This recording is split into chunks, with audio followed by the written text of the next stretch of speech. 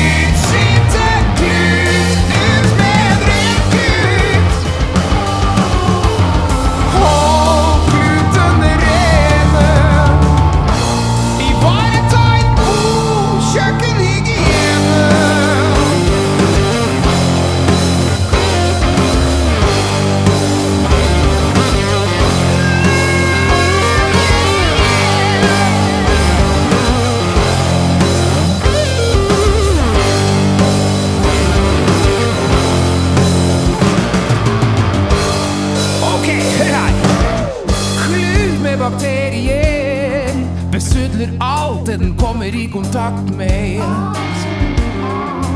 Bord, benk, hånd eller gryte. Beste botemiddel er hyppig klutbytte. Noe som at sted kommer et godt hygienemessig utbytte.